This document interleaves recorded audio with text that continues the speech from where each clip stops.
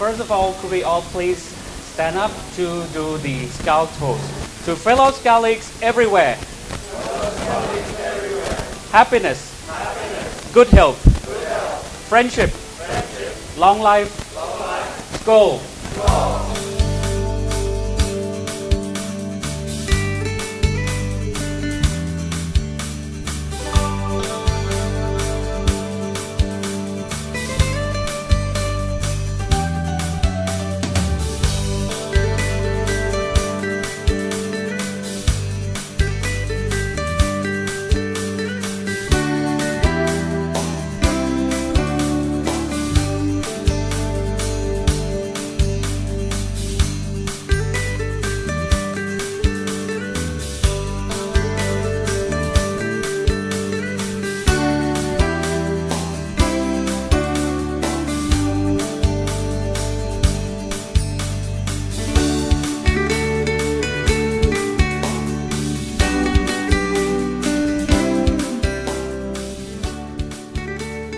Good evening. Well, tonight we're here for Skål Pattaya in East Thailand. And where are we? Well, we're at the new premier flagship hotel in Pattaya, designed by Mr. Kobe Elbaz. He's the man holding the helm.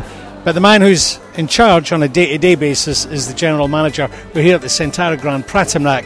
His name is Dominic Rong. Dominic, what a wonderful event tonight, and so great to see your premises at last.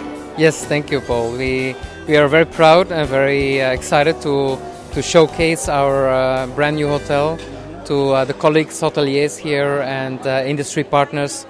Um, I'm very happy and excited that everybody enjoyed the event. I think it was very successful, and, and thank you for coming. Well, it's our pleasure. You know, Skål was relaunched in February this year, and it's slowly grown. And uh, you know, we went from having dinners of 30 and 40, and sometimes, if we're lucky, 50. But tonight, I think we hit nearly 70 people for dinner. So I think there's a lot of people who really came to to see this wonderful new premises. Yeah, thank you very much. I'm, I'm also very excited to see so many people here tonight. I think everybody enjoyed it. It was a great opportunity to show my colleagues here in Pattaya our, our new hotel. Uh, we worked very hard, as you mentioned. Uh, uh, Mr. Kobe Elbaz's property, managed by Centara Hotels and Resorts. Very proud to have this stunning property, and uh, I'm confident it will be very successful as well. You used the word stunning, and I've heard a few people use that tonight, including myself. We got a tour of your rooms, and they are they are, they are just uh, well world class. I mean, everybody talks about Centara Phratamnak and the aquariums and the aquatic theme that runs throughout from the, the fish that are in the, the, the chandeliers and the jellyfish chandeliers that are uh, suspended from the ceiling. But the rooms are very beautiful. There's a, an immense amount of attention to detail. Yeah. Now, I think we touched already a few things. We have these beautiful aquariums here in the lobby. We have this amazing uh, Fendi furniture here in our lobby and also in the suites. Um, we also have our um, signature restaurant, uh, Rufino, on the rooftop with our jellyfish tanks and stunning views there here over the bay here at uh, Phratamnak Beach. Uh, so we have we have a qu- quite a few uh, selling points, and I think we have a beautiful and attractive hotel. Yeah. Well, you know, it, it's great. I mean, I remember when I came, I first interviewed you, not as part of Skål, but when you were doing a beach cleanup, which I guess was about two or three months ago. But, but then you had your core team together, and the building was still in its finishing stages. But now we're filming this in uh, sort of getting towards the end of November, on the cusp of the high season. So, is it all action stations for you guys now? Yeah, absolutely. We um, we officially opened the hotel on the 15th of October, so about now a little bit over a month ago. Uh, the hotel is ready.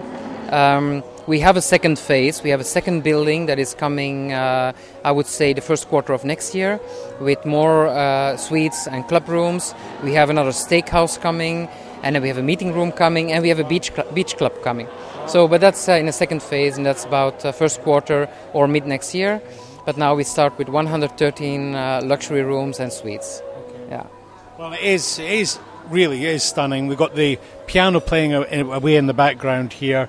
The it's just hard to describe. as soon as you walk in here, it, it, it gives you the well, actually makes you feel like you're in a James Bond movie or something. It just exudes class, and as, as I said, the attention to detail, but also the service that your staff have provided. I mean, we've seen that tonight with Skål, and the pressure's on you a little bit because you have you know the GMs from uh, uh, the Amari and many other very good hotels in town. Is that is that quite nervous for you when you have these guys visit you, or are they your colleagues? Um, of course, they are our colleagues, and uh, as being a Skål member, we're all friends, right? Um, of course, it's um, it's it's very important for us to get the appreciation and the recognition tonight. To hear from my colleagues that they are very impressed and that they are wowed with our hotel of course that means a lot to us. And uh, i'm happy that everybody was very excited about the quality in the food and the service. Of course we have a stunning hotel but as you mentioned it's also the service quality of the food that needs to be in line with that. And uh, i think the team is doing a great job so.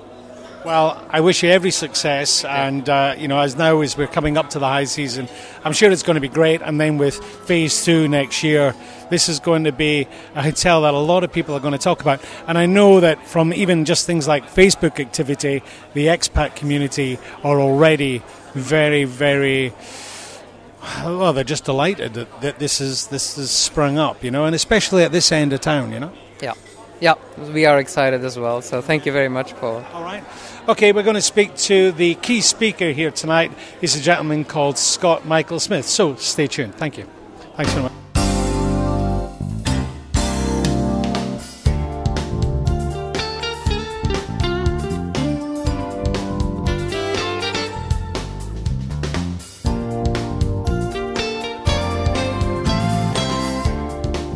Okay, now our guest speaker tonight is Scott Michael Smith. Now, he is a lecturer at Assumption University and he's a gentleman who's had over 20 years' experience in the hospitality sector, dealing from, well, all manner of things, including training and how that's developed into corporate social responsibility.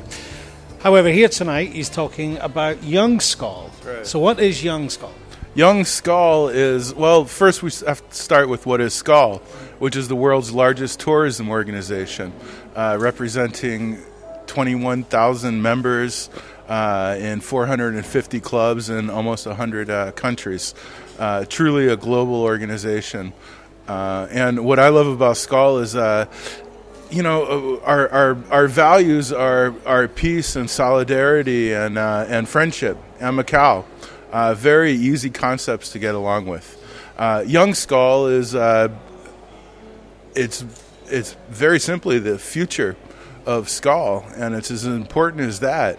Uh, so Young Skål is a new classification for our Skål Club, and uh, we're talking about people 18 to 30 years old studying tourism or working full time in the tourism industry. Uh, and again, now Skål, obviously, you see here, uh, they are the leaders of the tourism industry. So, young Skål, we're looking for the future leaders okay. for the tourism industry. Mm, yeah, the sort of uh, upcoming stars. That's right, the best and the brightest, and we're giving them opportunities to to climb up that ladder of success faster. Mm-hmm. Uh, and and that's what Skål is all about: uh, doing business with friends and friends helping friends. Okay, so for example, you know, you mentioned in hospitality, so this could be uh, like an assistant food and beverage manager or something like that, right? Absolutely. And uh, I would imagine that we've always been a member gets member. We're a club. Again, it's uh, not so serious. You want to join, come to a meeting, meet these people, and uh, and then you can apply to join. And uh, uh, we'd love to have you. Sure.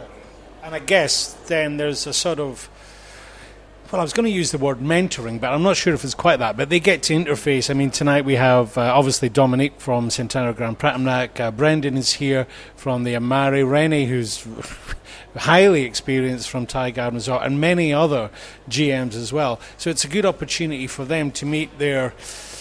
I was going to use peers, but maybe they're, they, you know, the people they aspire to be.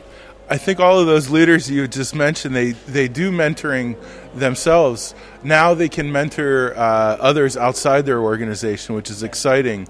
Uh, but I think the mentoring uh, is one of the, the most exciting parts of it because it's going to provide rewards and benefits for both uh, the Young Skålleague and, uh, and, and for what I call the Classic Skål members. Tell our viewers what, what is Skål not? What, and what I mean by that, because people might say, "Well, is this the same as you know other other uh, like Rotary or something like Sure. this?" And you know who can uh, who can apply to become members, who would be accepted, and who are exempt, because it's it's not open to all. It's not. It, it, it's open to uh, uh, Skål is open to senior managers, uh, senior leaders in the uh, tourism industry, and Young Skål is going to be the is, is for the future leaders. Um, so wh- who is and who isn't? My students always ask me that because I'm I'm always introducing a it's a new organization to them. Although it, this is chapter four for my textbook, tourism organizations. When we talk about the World Tourism Organization or PATA, Skål is right there. Uh, so it's gonna be, it's a great opportunity for them. Who can join? Uh, it's member gets member. So so that I think that's the the key there. Obviously, the first thing that springs to mind is hospitality, but there are many other aspects of It's tourism related businesses. But then somebody could say, well, you know, my business doesn't interface with tourists, but I help companies who interface directly with tourism, like a graphic design company. Right, and uh, and they're always invited to come to the meetings. Uh, but we do like to try to keep the as, as much as we want to be inclusive, we want to keep some sort of exclusivity uh, with the Skål membership. So it needs to be senior managers. But you're right, as the tourism industry grows and grows, uh, it, it's not. We're not talking about just general managers now of hotels. We're talking about uh, you know all the you know entertainment attractions accommodations uh, tour operators and uh, and government agencies including ngos uh, all of them uh, could qualify okay. all right. well, It's very interesting to meet you again, Scott. I've interviewed you uh, a few times in the past, and I really hope that you know some of the GMs that were here tonight will start to uh, you know embody what what, you, what you've said and, and and sort of pick out some of those rising stars from the properties that they manage, uh, and hopefully, Young Skål can be launched here in Pattaya because. Skål was launched here. When was it? Uh, uh, Tony said 1974 or that's something. right like yeah and then uh, and then it went through a period where it, it, it wasn't really uh, happening. It was relaunched in February this year, and we're doing great tonight. We had nearly seventy people for dinner, which is I think pretty good. I mean, you you, you got all you got all the clubs, It but that's pretty the good. speaker, but that was amazing turnout today, and uh, and and so much friendship and uh, and fun in the room. I can't wait to go to the next event at, at Ingo's property, the Pinnacle Resort. It's really it's a great opportunity. Where uh, Skål offers, and as part of this is one of the training programs that I've developed for Skål is the Ladders for Leaders program, which is really what we're we're all about is uh, is offering opportunities and. Uh, and, and and getting identifying those people in the organization and helping them as much as we can to to grow professionally, to increase their networks. Uh, the, the benefits are just amazing. We have two young Skålleagues here today that came down to Bangkok to show their support, uh, and uh, that's just uh, just wonderful. Can't. Well, there you go. If your business is related in any way to tourism, well, you might not actually become a member, but you're certainly welcome to come along to any of the meetings. As we've been talking, our website and Facebook page has been on the screen. Click on those links. You can find out a little bit more about it. And if you are senior management in uh, a tourism related business, then come along. And if you are a young person working in one of those companies, come along even more because actually we're going to reward those students as well. Yeah, there's uh, the the uh, Skål Club. You're, you're discussing lots of wonderful opportunities for these future leaders. So I'm telling you, if you're working in those in a junior management position and you can see this video, please come to the next Skål meeting. I can't stress that enough. All right, we're going to wind it up. Thanks for watching. Skål will be back and we'll be at the pinnacle. As I say, click on the link. Full, de- full details uh, will be on the Facebook page and our website. And we'll see you at the pinnacle again next month. See you again. Bye bye. Thanks very much.